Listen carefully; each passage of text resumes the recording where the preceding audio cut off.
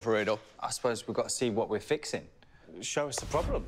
I'm gobsmacked. So how does this work when you're sort of with guys? And? Holy shit! That is wizardry.